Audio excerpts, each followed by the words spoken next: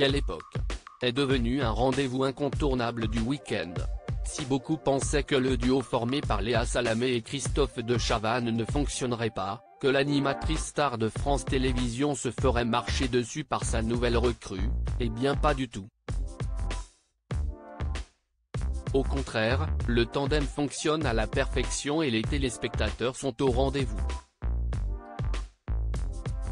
Samedi 15 avril 2023, Léa Salamé était aux commandes du 25e numéro de la première saison de Quelle époque, qui a réalisé un nouveau record d'audience. L'animatrice de 43 ans a notamment reçu Danny Boone pour la sortie de sa toute nouvelle comédie La vie pour de vrai, qu'il réalise et dont il partage l'affiche avec Kad Merad et Charlotte Gainsbourg, mais aussi Frédéric Beigbeder. L'écrivain et cinéaste publie un nouveau livre chez Albin Michel qui fait déjà beaucoup de bruit, Confession d'un hétérosexuel légèrement dépassé. Il y est notamment question de drogue et de sexe, deux sujets sur lesquels Frédéric Beigbeder est très à l'aise pour parler, un peu trop pour certains. Toute la libération sexuelle des années 70 hier soir dans quelle époque, alors que Léa Salamé allait présenter la bande-annonce de la vie pour de vrai, elle s'est adressée assez directement à Frédéric Beigbeder. La compagne de Raphaël Glucksmann était dans une forme olympique. Vous allez adorer, si est toute la libération sexuelle des années 70, a commenté Léa Salamé, en s'adressant à Frédéric Beigbeder. Se sentant alors visé alors qu'il n'avait rien demandé, l'ancien compagnon de Laura Smet a alors lancé un bonjour à l'animatrice de quelle époque, ajoutant, si est toujours moi. Frédéric Beigbeder n'avait pourtant pas encore parlé de son actualité littéraire.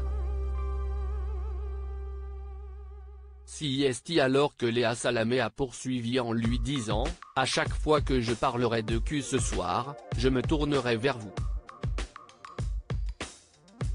Une intervention qui n'a pas manqué de faire réagir l'assistance. Lors de ce numéro de quelle époque? Il a été plusieurs fois question de sexe. Un peu plus tard, lorsque Frédéric Beigbeder a enfin été invité à parler de confession d'un hétérosexuel légèrement dépassé, Christophe de Chavannes a tenu à exprimer son désaccord. Contrairement à ce que pense Frédéric Beigbeder, tous les hommes ne s'imaginent pas les femmes en train de faire l'amour lorsqu'ils les croisent dans la rue. Je ne vous imagine pas en train de faire l'amour, a alors lancé Christophe de Chavannes à Léa Salamé, pas préparé à cette punchline, et qui s'est montré particulièrement gêné.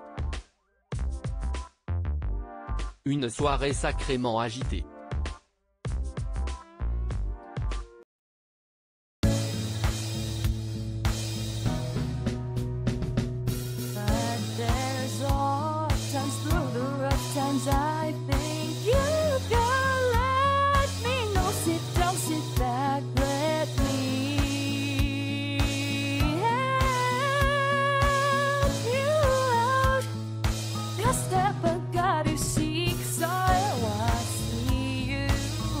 there's on your